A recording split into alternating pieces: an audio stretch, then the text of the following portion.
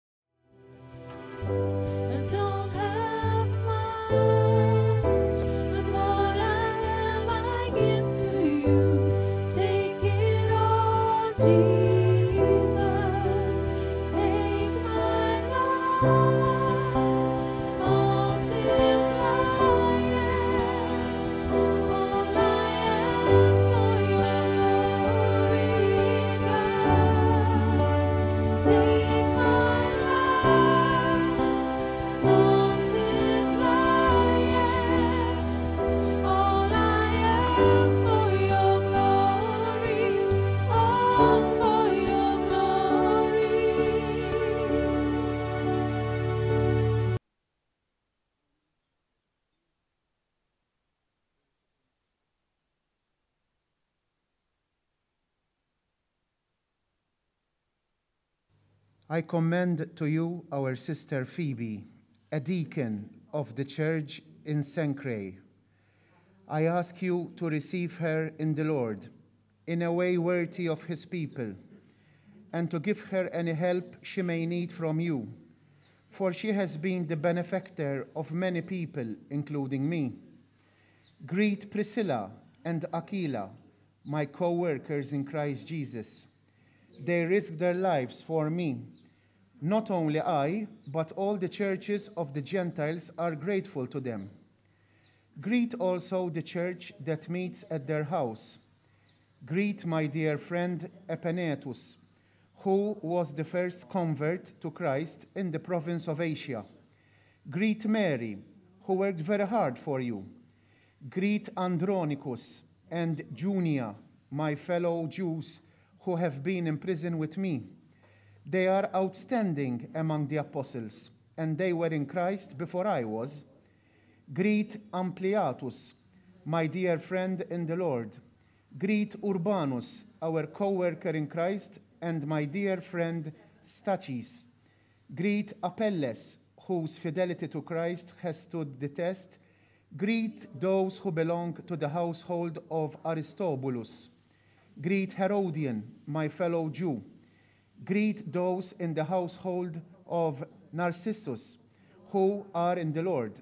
Greet Tryphena and Tryphosa, whose, those women who work hand in the Lord. Greet my dear friend Persis, another woman who has worked very hard in the Lord. Greet Rufus, chosen in the Lord, and his mother, who has been a mother to me too. Greet Asyncritus, Philagon, Hermes, Patrobas, Hermas, and the other brothers and sisters with them. Greet Philologus, Julia, Nereus, and his sister, and Olympus, and all the Lord's people who are with them. Greet one another with a holy kiss. All the churches of Christ send greetings. Hallelujah. Glory to God. Gloria al Mulej. It's amazing to be in the midst of God's presence. Hija verament tal-aġeb li nkunu fil-preżenza tal-Mulej. To be together here as a family. Nkunu flimkien hawn bħala familja. Worshiping and praising our Creator. Infaħħru u naduraw il-Ħallieq tagħna. God is so good. Alla huwa verament tajjeb. And we are so blessed. U aħna verament imbirkin. And I was so blessed this morning when I heard Brother Andrew and Gabriel doing their introductions.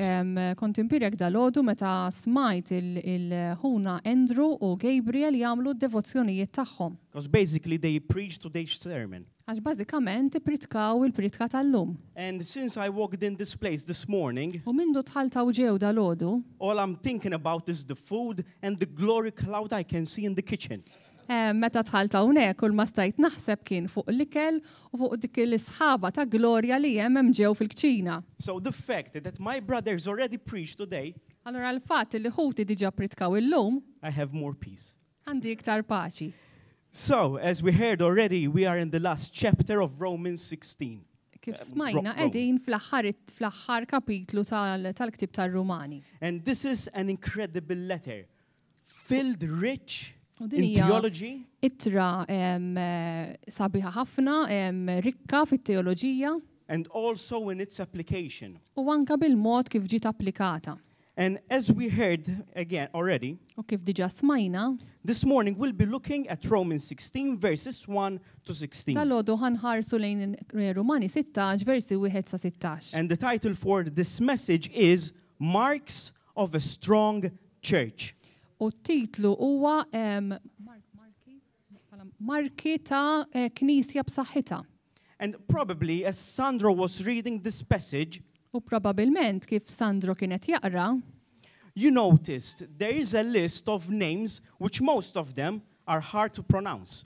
hemm lista ta', ta, ta nies illi huwa ukoll diffiċli li tippronunzja isimhom. In fact, the two names that are I was thinking about all the time while I was preparing. Infatti meta kont qed nipprepara żewġ ismijiet li l-iktar kont qed naħseb fuqhom. Were the names of two ladies. Kienu l-ismijiet ta' żewġ nisa. Trifisa and Trifosa. Trifisa u Trifosa. And I was saying to myself if one day I will have two girls. U bdejt ngħid kieku xi darba jkolli żewġ tibniet. Probably I'll name them Trifisa and Trifosa. Hekk insemmihom forsi Trif Trifisa u Trifosa. Imagine imagine them going to school. Immaġina jkun jisimhom hekk kif jitlu l-iskola. So joking aside, let's focus on Mela today's dik kienet message. ċajta hija ħanifukaw issa fuq il-messaġġ tal-lum. Now, if my count is correct, Paul mentions 26 individuals by name. Jekk qed ngħodd tajjeb, Pawlu semma' 26 individwi b'isimhom. And many others are unnamed. U hemm oħrajn ukoll illi m'hemmx isimhom. This passage is a list of greetings. Huwa passaġġ ta' ta' tislim. And Paul uses familial terms. U qed juża termi familjari Pawlu hawnhekk. He he uses words such as brother, sister, mother, my beloved. Juża kliem bħal ħija, oħti, ommi, il-maħbub. And he also pens down the term in Christ or in the Lord 11 times. U jsemmi wkoll em, fi Kristu isemmiha 11-il darba. And this is very important for us today U għallum din hija verament importanti. because even though we may not be related naturally, Għax għalkemm aħna maħniex ma niġux minn xulxin b'mod naturali, In Christ Jesus we are a family. Imma fi Kristu Ġesù aħna familja. With all the ups and downs. Bit-tajjeb u l-ħażin. With all our weaknesses, with all our faults, with all our strengths. Bid-djufijiet tagħna, bil-affarijiet tajba tagħna. With all the challenges and with all the joys. Bil-ferħ kollu u bl-isfidi kollha. I can say one thing about this. Nista' ngħid ħaġa waħda fuq dan. That the family of God is amazing. Li l-familja t'Alla hija tal-għaġeb. Now, this passage many times gets neglected. Dan il-passaġġ ħafna drabi e jiġi ftit imwarrab. But we are to remind ourselves that all scripture. Imma rridu nfakkru lil nfusna li l-iskrittura kollha. Old Testament, New Testament. Kemm testment um, l-antik, kemm it-testment il-ġdid. All the promises, all the warnings, all the prophecies, Kem and all the genealogies. Il-profeziji, il-ġenealoġiċi, il-wediet, il-twissijiet. 2 Timothy chapter 3 verses 16 and 17 says. Timotju kapitlu 3 versi 16 u 17 All scripture is breathed out by God and profitable for teaching, for reproof, for correction and for training in righteousness that the man of God may be complete, equipped for every good work. L-Iskrittura kollha hija mnebbħa minn Alla u tiswa biex wieħed jgħallem, iċanfar, iwiddeb u jrawwem fis-sewwa, biex hekk il-bniedem ta' Alla jkun perfett, imħejji għal kull ħidma tajba. The majority of these people mentioned in these lines, we have no other reference to them in Scripture. Il-maġġoranza tal-ismijiet li qed nisimgħu hawnhekk ma nsibu l-ebda referenza oħra għalihom fil-Iskrittura. Most of them we know nothing about them. Ħafna minnhom lanqas nafu xejn dwarhom. But if we are in Christ. Imma jekk aħna fi Kristu. One day we will meet them. Xi darba ħa niltaqgħu magħhom. And we will see them face to face. U narawhom wiċċ imb wiċċ. Their names have been immortalized in the holy word of God. Isimhom ma miet qatt għax qegħdin fl-Iskrittura, fil-Kelma Mqaddsa t'Alla. And what does scripture say? U x'tgħid l-Iskrittura? Isaiah chapter 40 verse 8 says this. The grass withers, the flower fades, but the word of God will stand forever. Iżaija 40 vers 8 jgħid, Il-ħaxix jinxef, u l-ward jidbiel, iżda l-kelma tal-Mulej tibqa' għal dejjem. And their names are written on the word of God. U isimhom imniżżel Fil-Kelma t'Alla. My hope is that we can imitate them. It-tama tiegħi hi li aħna nistgħu nimitawhom. That we live a life worthy of remembering.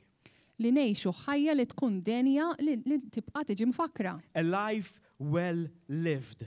Ħajja li wieħed jgħixha tajjeb. A life lived for Jesus. Ħajja li wieħed jgħixha għal Ġesu. A life worthy of being written Ħajja li tkun, li tkun werti, li tkun denja. On the Lamb's book of life. Li tkun imniżżla fil-ktieb tal-ħajja. I pray this for each and everyone in this room and even those on Zoom. U dan nitolbu għal kull wieħed u waħda minna li qegħdin hawn u dawk ukoll li qegħdin fuq Zoom. It doesn't matter if you are building or have built already A name for yourself. Ma jimpurtax jekk inti diġa bnejt jew għadek qed tibni l-isem tiegħek. It doesn't matter how many people recognize your name on Facebook or on Instagram. Ma jimpurtax kemm hemm nies jafu bismek fuq Facebook jew Instagram. The question is, does the Lord recognize my name? Il-mistoqsija hi, il-Mulej jarfu ismi? Does the Lord recognize your name? Il-Mulej qed jagħrfu ismek. Proverbs 21 verse 1. A good name is to be chosen rather than great riches, and favor is better than silver and gold. Proverbji 22 vers 1 jgħid, aħjar isem tajjeb minn ħafna ġid, aħjar fama tajba mill-fidda u d-deb. Think about it.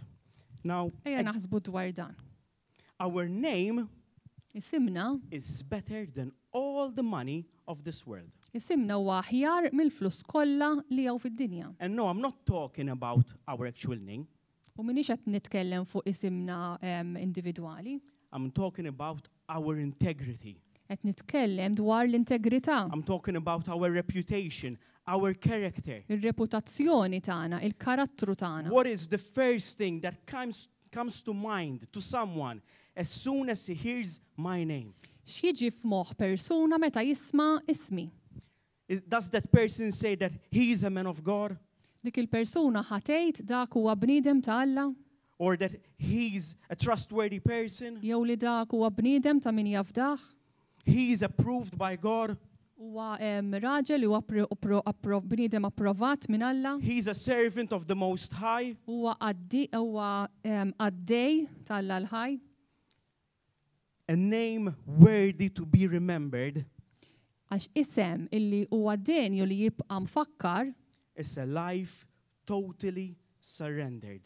Hija ħajja li tissottometti b'mod komplet. Totally dependent. Kompletament dipendenti. A life lived for Jesus. Ħajja li tkun qed tgħixha għal Ġesù. Am I living for Jesus? Qed ngħix jien għal Ġesù? Are we living for Jesus? Aħna qegħdin ngħixu għal Ġesù? Let's take a look at what the Apostle Paul had to say of these people. Eja naraw Pawlu x'kellu xi jgħid fuq dawn in-nies. In the verse two verses of Romans 16, Fl-ewwel żewġ versi ta' ta' Rumani 16, Paul talks about a very special lady. Pawlu jitkellem dwar mara vera speċjali. A woman named Phoebe. Mara bl-isem ta' Phoebe. And commentators are almost in a unanimous agreement. U l-kummentaturi qegħdin fi qbil unanimu. That Paul entrusted Phoebe. Li Pawlu afda lil Phoebe. With his letter. Bl-ittra tiegħu. To deliver to the church In Rome. Biex din tgħaddiha twassalha lill-Knisja ta' Ruma. Now on a side note. Xi ħaġa apparti. I want us all to dismiss the idea. Irrid lil kulħadd ineħħi l-idea. The idea that this secular world is trying to pour in our heads. Din l-idea li din id-dinja sekolari qed tipprova tpoġġi f'ġo moħħna. The idea that somehow the Bible is misogynist, meaning hating women. L-idea li l-Bibbja hija kontra n-nisa jew li togħbot lin-nisa. In times of Paul women were not given any prominence. Fiż-żmien ta' Pawlu, dak iż-żmien in-nisa ma kienu jingħataw l-ebda prominenza. In fact, many times women were considered as breathing stock. Infatti, mara kienet ikkonsidrata biss bħala xi ħaġa li qed tieħu n-nifs. But not for Jesus. Imma mhux Not għal for Ġesù, Paul. mhux għal Pawlu. In Ephesians, Paul instructed husbands Fl-Efesin, Pawlu jagħti struzzjonijiet lill-irġiel, to love their wives as Christ loved the church. jagħti struzzjonijiet lill-irġiel biex iħobbu lin-nisa tagħhom hekk kif Kristu ħabb lill-Knisja. And how did Christ love the church? U kif Kristu ħabb He lill-Knisja? laid down his life for him. Ħabb lill-Knisja billi ta ħajtu għall-Knisja. And we are to love our wife U rridu the same nħobbu manner. il-mara tagħna bl-istess mod. I don't think that's hatred towards women. Ma naħsibx li dik hija xi ħaġa em, li qed tippromuovi mibeda lejn in-nisa. So Paul trusted the original word of God U għawet naraw il-Pawlu jafda l-kelma oriġinali ta' Alla to a woman. Qed jafda lill-mara. Today we carry around Bibles that are they're printed. Illum qed inġorru fuqna Bibbji li huma ipprintjati. But Phoebe had the original autographed letter. Imma Phoebe kellha l-ittra oriġinali li ġiet miktuba. What a privilege, what a responsibility. Ara xi privileġġ u responsabilta din kellha. So Romans 16 verse 1. Rumani 16 vers 1. I command to you. Qed jgħid jien nirrakomandalkom. Paul is writing a letter of recommendation. Qed jikteb ittra ta' rekomandazzjoni. Or a cover letter for her resume. Jew ittra isu qed jagħmel ir-resume tagħha. So when the church in Rome see her, they will welcome her, they will receive her. Ħalli meta mbagħad il-Knisja ta' Ruma tarha, eh, tkun tista' tilqagħha. I commend to you our sister Phoebe, a servant of the church in Sinkri. Nirrakkomandalkom lil Phoebe oħtna li qiegħda sservi lill-Knisja ta' Kenkri. Now let's look at the word servant. Ejja nħarsu lejn il-kelma isservi, qaddejja. If you have a Fire Bible or any other study Bible. Jekk għandek il-Fire Bible jew xi Bibbja oħra ta' studju. You will notice that on that word servant there is a small number or a letter. Taraw illi fuq il-kelma qaddejja hemm numru żgħir fuqu. And at the bottom of the page or in the middle of the page. U fl-aħħar tal-paġna jew fin-nofs. You will find a note with a meaning. Tara nota b'tifsira. And the meaning is deacon. U t-tifsira hija djaknu. This word deacon. Il-kelma djaknu. Is used all over the New Testament. Il-kelma djaknu tintuża fit-Testment il-Ġdid kollu. Paul uses this, this word deacon for himself. Pawlu juża l-kelma djaknu għalih innifsu. Also for Jesus. U anke għal Ġesù. And if you remember in Romans 13. U jekk niftakru f'Rumani tlettax. He used the same word for the governing authorities. Uża l-istess kelma wkoll għall-awtoritajiet governattivi. So this word deacon is very generic. Allura kelma djaknu hija kelma ġenerika. And it literally means U litteralment tfisser għaddej. However, Paul in this verse is being specific. Però Pawlu f'dan il-vers qed ikun speċifiku. And it's important that we look into the context. U importanti naraw il-kuntest. Phoebe, a deacon of the church at Sinkri. Phoebe li qegħda sservi qaddejja lill-Knisja ta' Kenkri. So, where is Phoebe serving? Is she serving in a restaurant? Mela fejn qed isservi Phoebe? Qed isservi f'xi restorant? Is she serving at home? Qed isservi f'xi dar? She is serving in the church. Qed taqdi fil-Knisja. And I want to make this point. U rrid nagħmel dan il-punt. Because many Christians, many brothers. Għax ħafna aħwa Kristjani. Believe. Jemnu. That women should not serve in the church. Jemnu li mara m'għandiex taqdi fil-Knisja. I'm gonna tell you this. U ħanejdilkom din. Women can serve. Nisa jistgħu jaqdu? Women are to serve in the church. Anzi n-nisa għandhom jaqdu fil-Knisja. The Holy Spirit that indwells a born again man. Għax l-Ispirtu s-Santu li qiegħed ġo raġel li huwa imwieled mill-ġdid. Is the same Holy Spirit that indwells a born again woman. qed jgħix fl-ist, qed jgħix bl-istess mod f'mara li hija mwielda mill-ġdid. So coming back to this word deacon. Mela ja nerġu morru lura fil-kelma djaknu. Servant. Għaddej. Servant in the church. Għaddej fil-knisja. A deacon knows his calling. Djaknu jaf is-sejħa tiegħu. And he doesn't procrastinate. U ma ma jwebbisx rasu. In doing what needs to be done. Milli jagħmel dak li hemm bżonn li jsir. Whatever the need is. U x'inhu l-bżonn. We'll come back to this word. Let's move on to verse 2. Ħa nerġgħu niġu għal dil-kelma imma ħa nimxu għat-tieni vers.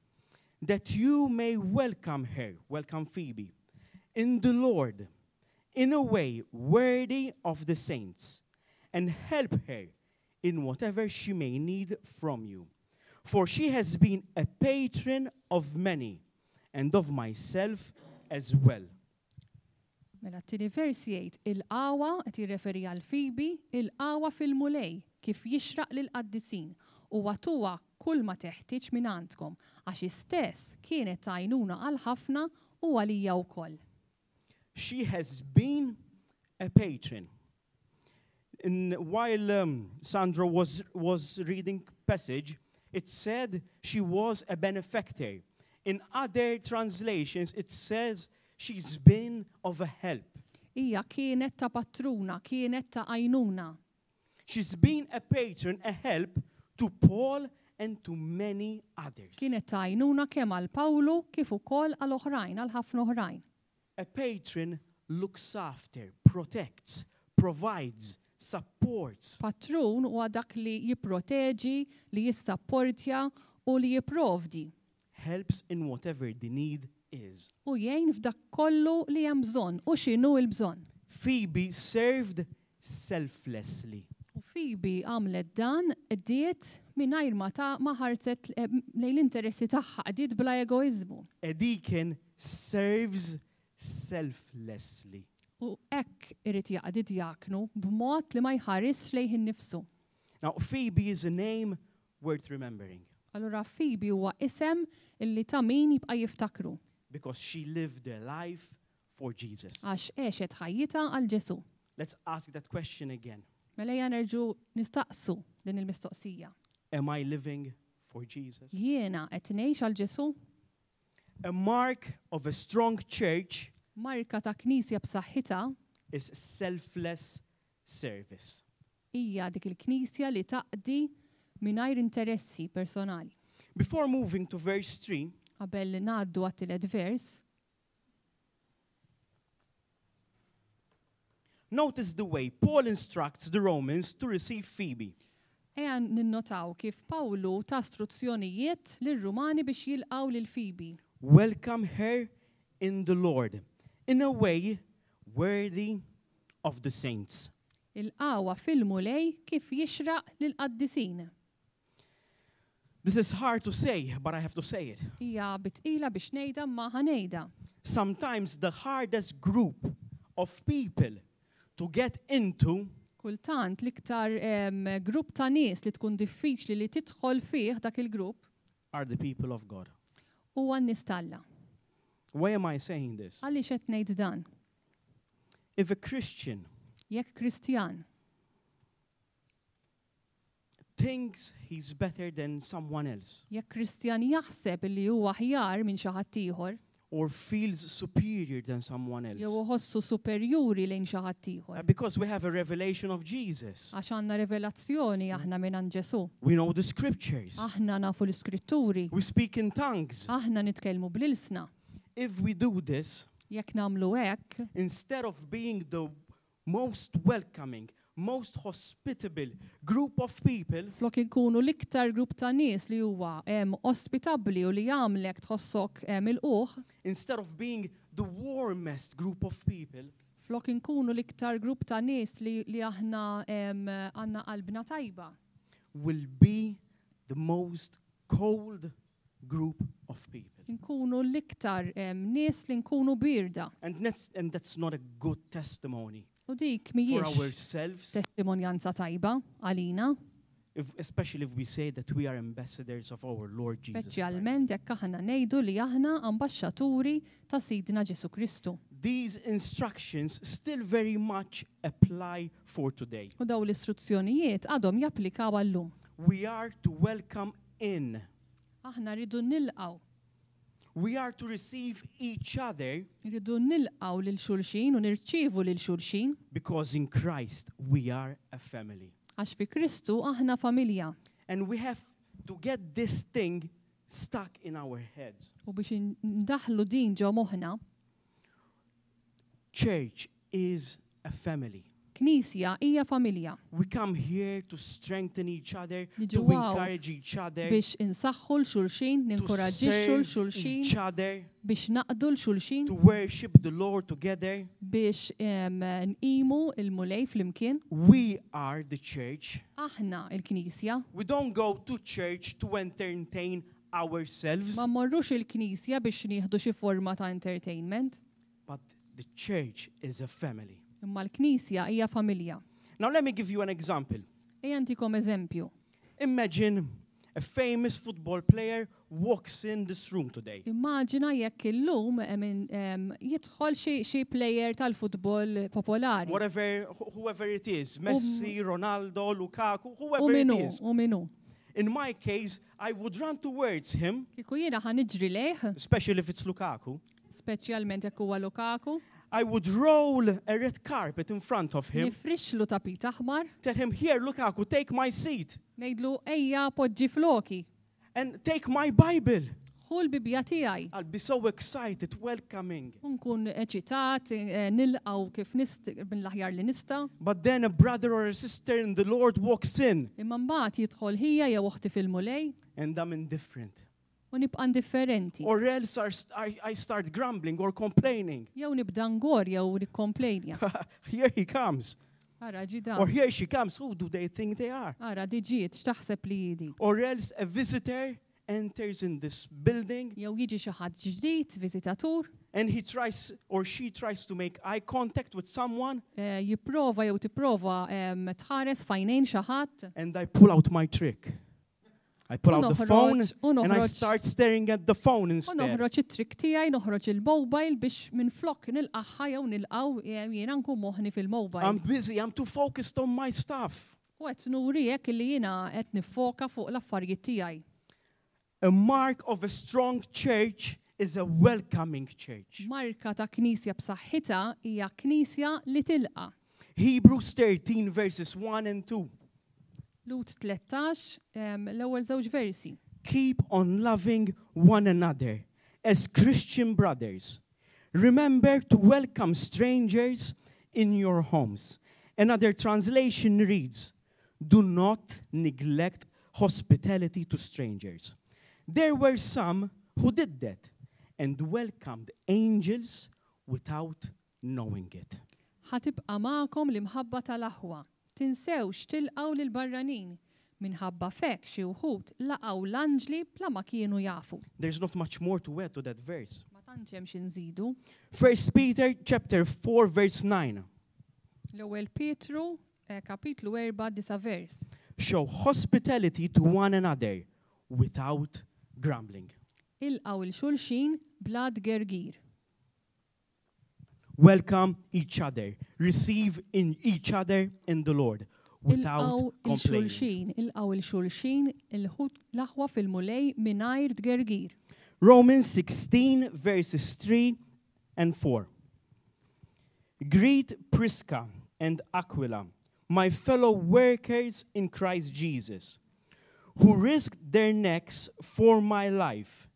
To whom not only I give thanks, but all the churches of the Gentiles give thanks as well.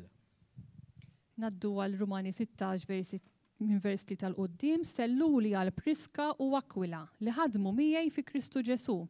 Għax huma wkoll issugraw ħajjithom għalija biex isalvawni, u mhux jien biss għandi għax nirringrazzjhom iżda wkoll il-Knejjes kollha tal-Ġentili.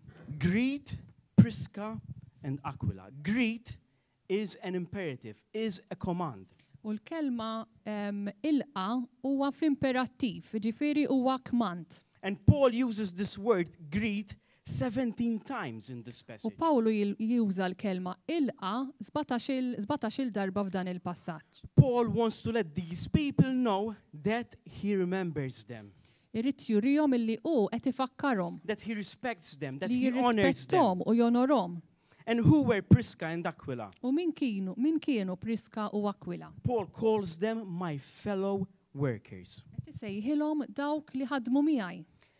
In Acts chapter 18 we can learn more about them. Fatti kapitlu 18 nistgħu nitalmu iżjed dwarhom. I was hoping that I can go through scriptures, but maybe we'll have the opportunity to do that on Tuesday. Kont qed nittama li ngħaddu iktar skritturi, ma forsi jkollna dan iċ-ċans dwar fil-ħin tal-istudju tal-Bibbja. But I'll just give, give you a quick overview. Imma ħantikom ħarsa ta' malajr.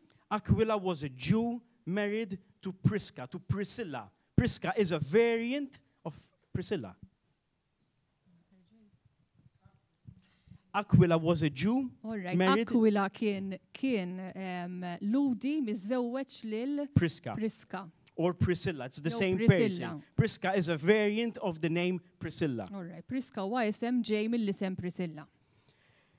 And they lived in Italy, but Kienu jgħixu under, l-Italja, but under Cornelius, the Jews were, were cast off, imma were taħt, exiled. taħt Cornelius il- il- il-Lut kienu eżiljati.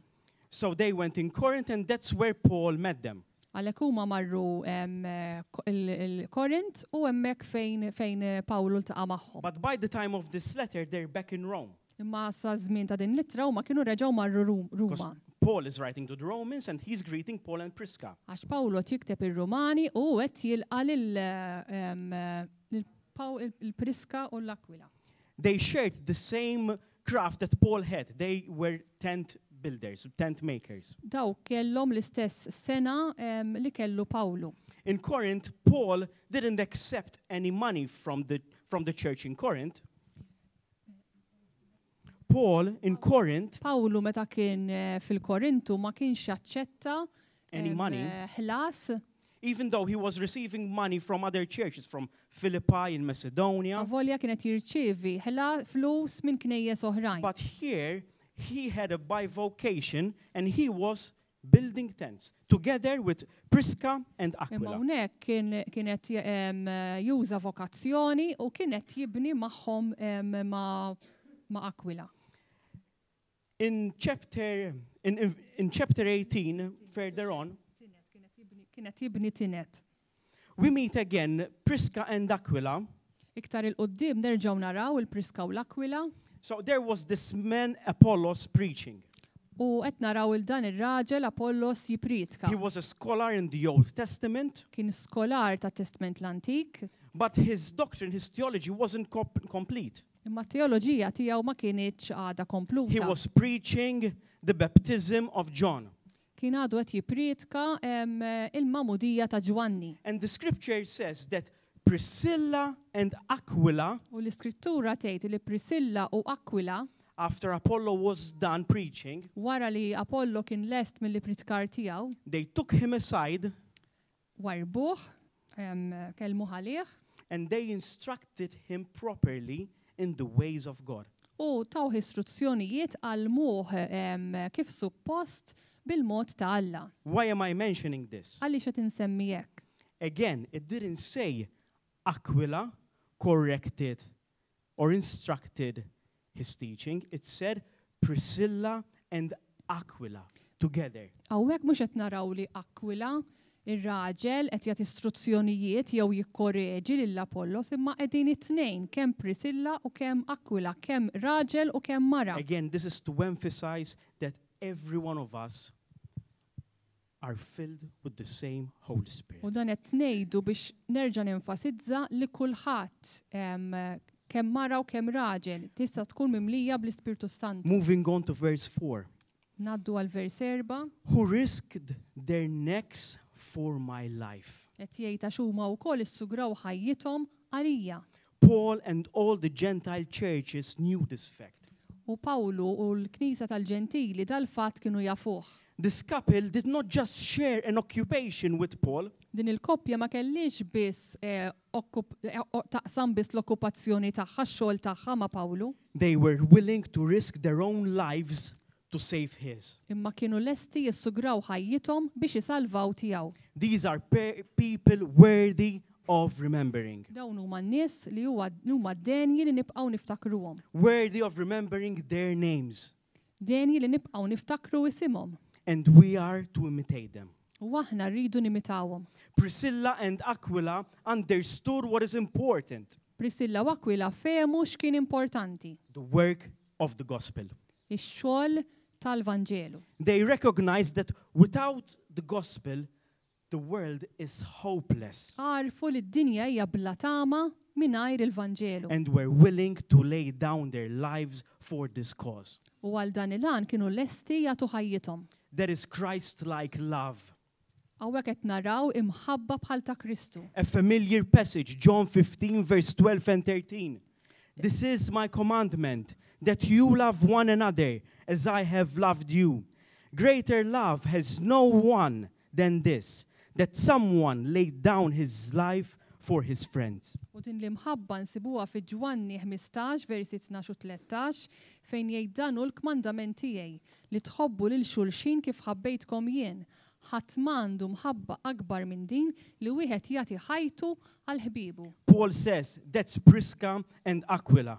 U Pawlu qal, Dawn kienu Prisilla u Aquila. Never to be forgotten for their service. Li qatt m'għandhom jiġu minsija għas-servizz tagħhom. A mark of a strong church is willingness to sacrifice. Marka ta' Knisja b'saħħitha hija dik il-Knisja li tkun lesta li tissagrifika. Am I willing to sacrifice my pride, my success, my my expectations? Jiena lest nissagrifika dak li jien qed nistenna, lest nissagrifika l-kburija tiegħi u dak li jiena nixtieq? for the benefit of the gospel, for the benefit to build up a brother or a sister. Għal benefiċċju tal-Vanġelu, għal benefiċċju li nibni lil ħija jew il-oħti. And then Paul keeps on going mentions many many names. U Pawlu jkompli hawnhekk għaddej miex il-qudiem isemmi iktar ismijiet. He remembers the first convert in Asia. Jiftakar l-ewwel konvertit fl-Asja. It seems like he wants to say hello to everyone. Donnu jrid isellem lil kulħadd. Hello, I remember you. I cherish you, I honour you. Qed isellem u juri kemm kemm kemm huma nies importanti għalih. But quickly I want to go in verse 6 where it says Mary, we don't know which Mary it is, but Mary has worked hard for you. Isemmi wkoll vers 6 sellu għal Marija Ma nafux lil Marija pero tgħid sellu għal Marija li tħabtet ħafna għalikom. Mary worked hard unto exhaustion. Qed jgħid illi Marija ħadmet, ħadmet u għejjiet. My prayer is that we work hard. It-talba tiegħi hi li aħna wkoll naħdmu ħafna. That we work hard in whatever calling. Li aħna wkoll naħdmu bis-sħiħ għal dik is-sejħa. Whatever calling God has called us in. Hi x'inhi s-sejħa li tak Alla? Is it cleaning the bathroom, cleaning the floors, Jekk hix preaching? jekk hix taħsel l-art, jekk hijiex tipprietka. Whatever the calling Hi is. x'inhi? If the Lord called me to spend the whole day at home cleaning diapers, Jekk Alla sejjaħli biex nagħmel ġurnata d-dar innaddaf ħrieqi, unless uh, for those who don't know, that's what I do during the day most of the time. u għal min ma jafx jiena hekk inqatta' ħafna mill-ħin tiegħi. I'm gonna do it gladly. Jiena, jekk imsejjaħ biex nagħmel dan, ħa nagħmel dan bil-ferħ. It's hard, I don't enjoy it. Hija diffiċli ma nieħux gost. Sometimes I find myself talking to the walls. Kultant nispiċċa nitkellem mal-ħajt. But whatever it is, I'm gonna do it unto the Lord. Imma ixini jiena ħanamel hekk għal mulej. So a strong church is marked by hard work. Għalhekk, Knisja b'saħħitha hija b'saħħitha għax taħdem, taħdem. Hard work for the Lord. Xogħol iebes għall-Mulej. And for his people. U għan-nies tiegħu. My prayer is that we all work hard. U talba tiegħi li kollha naħdmu ħafna. And again, if you notice, during this whole passage, u kif ninnotaw f'dan il-passaġġ kollu, Paul was showing that love. Pawlu kien qed juri dik l-imħabba. He was he was telling his friends, his co-workers. Qed qed jgħid lill-ħbieb tiegħu, il-kollegi tiegħu. This is Paul the Apostle. Dan Pawlu l-Apostlu. He is in the Hall of Fame of Apostles. Huwa wieħed mill, l-iktar wieħed li għandu fama. He takes time to write these names down. Imma jieħu l-ħin biex jikteb dawn l-ismijiet. He takes time to say hello, I remember you. Jieħu l-ħin biex jikteb isimhom u u jsellmilhom u jurihom li hu qed jiftakar fihom. I know that you've been serving the Lord. Naf li jiena, jien naf li intom qed taqdu lil Alla.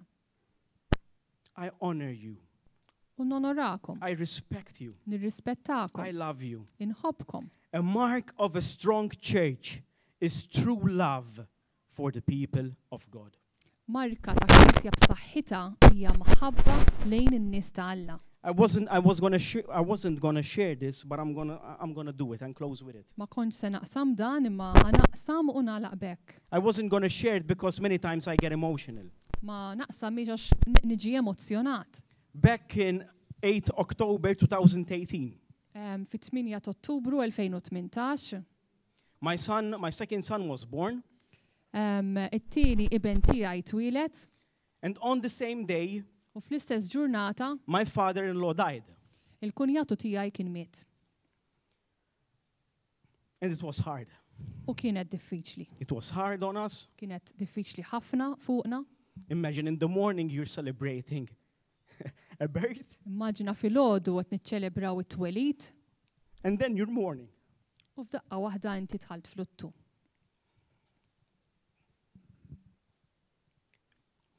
But the church. Imma l-knisja. You came together. Inaqadtu. You prayed for us. Tlabtu għalina. And it didn't just stop there. U ma waqfitx hemm. I want to thank you. Irrid nirringrazzjakom. I remember while uh, the women's were having the women's meeting. Niftakar li nisa kellhom il-laqa tan-nisa. They decide that they're, that they're gonna make food for us, prepare food for us. U ddeċidew illi ħajsajrunna, ħajpreparaw ikel għalina. And we had food for almost three weeks. U kellna l-ikel għal kważi tliet ġimgħat. Now this might sound something small for you. Forsi hija xi ħaġa tinstema li hija xi ħaġa żgħira. But this is something that marked me and my family. Imma hija xi ħaġa li laqtet lili u l-familja tiegħi. Because we truly felt the love of this family. Għax verament ħassejna l-imħabba ta' din il-familja. A mark of a strong church. Marka ta' knisja b'saħħitha. Is true love for the people of God. Hija mħabba vera għan-nies ta' Alla. John chapter 13 verse 34 and 35. Ġwanni 13 versi 34 u 35. We already heard this this morning from our brother Gabriel. Dan smajnih diġà minn għand ħuna Gabriel. A new commandment I give you that you love one another just as I have loved you. You are you also are to love one another. By this all people will know that you are my disciples if you have love for one another. Natikom kmandament ġdid li tħobbu lil xulxin. Palma ħabbejtkom jien, Bħalma ħabbejtkom jien, hekk ukoll ħobbu intom lil xulxin. Minn dan jagħraf kulħadd li intom dixxipli tiegħi, jiġifieri, jekk ikollkom l-imħabba bejnietkom. Brothers and sisters. L-aħwa. Let's serve together. Ejja naqdu flimkien. Serve without grumbling. Naqdu mingħajr tgergir. Serve without procrastinating. Naqdu mingħajr ma nwebbsu rasna. If I know what needs to be done, let me do it immediately. Jekk naf li hemm bżonn issir xi ħaġa ejja naqbad u nagħmilha issa. I don't need anyone to come and tell me or push me to do something. Ma noqgħodx nistenna lil xi ħadd jiġi jgħidli jew jew jew jimbuttani biex nagħmilha. Just do it. Aqbad u agħmilha. Be obedient. Kun ubbidjenti. Be obedient in whatever calling God has called you in. Obdi f'dak kollu li Alla jsejjaħlek għalih. Serve God, serve each other. Aqdi l-Alla, aqdu l-xulxin. Forgive each other. Naħfru l-xulxin. Let's strengthen each other. Ejja nsaħħu l-xulxin. Let's stop complaining and pointing fingers. Ejja nieqfu Nikkomplenjaw u ngorru u nippuntaw is-swaba' lejn xulxin. The worst thing that can happen to us. L-agħar ħaġa li tista' tiġrilna. Is that we go to war. Hi li aħna mmorru għall-gwerra. And we're aiming our guns towards the enemy. Qed nippruvaw nitfgħu l-pistola lejn l-għadu tagħna. But then the same person who is supposed to be fighting against that enemy U l-istess persuna li li suppost qed tiġġieled kontra l-istess għadu, turns his gun towards you. hemm il-pistola tiegħu ehm, quddiemek. We don't have tħares to lejk. wait, we don't have to wait for persecution outside of the church. M'għandniex għalfejn nistennew li tiġi l-persekuzzjoni warajna barra l-Knisja. There's already much persecution going in the church from brothers and sisters. Għax diġà hemm persekuzzjoni ġol-Knisja mingħand l-aħwa. Let's stop this. Ejja dan inwaqqfuh. Let's love one another the same way that Jesus loved his church. Ejja nibdew nħobbu l xulxin bl-istess mod kif Kristu ħab il-Knisja tiegħu. Let's not wait for someone else to love us. Ejja ma nistennewx il-ħadd ieħor iħobb lilna. Let's not wait for someone to welcome us in. Ejja ma nistennewx il min jilqa' lilna ġewwa. Jesus first loved us before we loved him. Għax Ġesù, Kristu l-ewwel ħabb lilna qabel ma ħabbejnieh aħna. And that's the same thing that we have to do. Jesus is our example. U hekk l-istess irridu nagħmlu aħna, għax Ġesù huwa l-eżempju tagħna. Heavenly Father, I thank you. Missier qaddis, nirringrazzjak. I thank you for your word. Nirringrazzjak tal-kelma tiegħek. I thank you for the Apostle Paul. Nirringrazzjak ta' dan l-Appostlu Pawlu. I thank you for these people. Nirringrazzjak ta' dawn in-nies. Which their names is written on the most holy book. Li isimhom huwa mniżżel fil-ktieb l-iktar qaddis. Lord, I pray that we will imitate them. Mulej nitlob li aħna nimitawhom. That we will serve you selflessly. Li naqdu bla ma nħarsu lejn l-interessi tagħna. That we work hard for you. Li naħdmu iebes għalik. That we are welcoming. Li aħna nilqgħu. And Lord, I pray that each and every one of us U nittolbok illi kull wieħed u waħda minna has a name worthy to be written ikollu ismu li huwa denju li jitniżżel on the books lem of life. fil-ktieb tal-ħajja tiegħek. For your glory, Għall-glorja tiegħek, Lord, I pray for each and every one in this room. Mulej nitolbok għal kull individwu f'din il-kamra, Bless us, berikna, As we go no, go on with our day. Hekk kif aħna ħa nkomplu bil-ġurnata tagħna. Lord, I pray that whatever we do. Nitlob li kull ma nagħmlu. As we eat, drink, sleep, wake up. Kif niklu, nixorbu, norqdu, nqumu. Go to work. Immorru xogħol. That we truly are your ambassadors. Li aħna verament inkunu l-ambaxxaturi tiegħek. And that people will see the love we have for your people. U li n-nies jaraw l-imħabba li aħna għandna lejn in-nies tiegħek. 'Cause they will know. Għax huma b'hekk ikunu jafu. That we are your disciples. Li aħna d-dixxipli tiegħek. That we are your children. Li aħna uliedek. In Jesus' name. F'isem Ġesù Kristu. Amen. Halleluja. Halleluja. Amen. Halleluja.